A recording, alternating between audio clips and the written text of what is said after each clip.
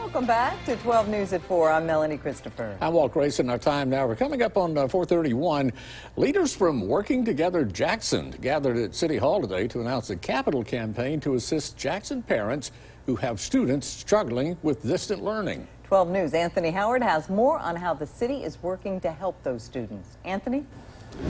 Jackson Mayor Chokwe Antar Lumumba, city leaders, along with several religious leaders, are all excited about the benefits the Safe Haven campaign will bring to young Jackson scholars.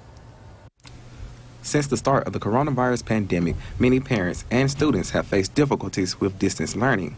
Working together, Jackson, along with other city and county leaders, are working towards a solution to the digital divide.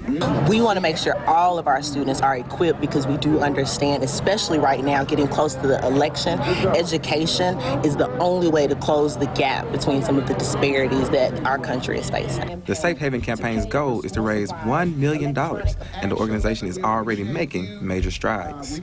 What you see here are three competing radio groups coming together for one cause. Local radio stations are working together to raise 500,000 over the next month.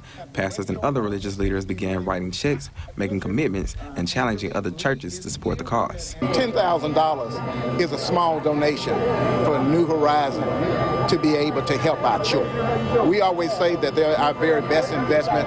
Then let's pony up. All donated funds will be used to provide digital connection kits to students, distance learning workshops for parents, and money for the Jackson Scholars Mental Health Warm Line during this pandemic, a lot of us have been suffering in silence and isolation. So we want to make sure that people have access to the Jackson Scholars uh, Mental Health Warm Line. It's a safe place to call, and they can help you find the right kind of help, and we're working with them every step of the way. Working together, Jackson partnered with Hope Credit Union to manage all the donations the campaign receives. Now, Senator John Horhn and political leaders made donations as well. So if you're interested in making a donation, visit our website at WJTV.com to learn how.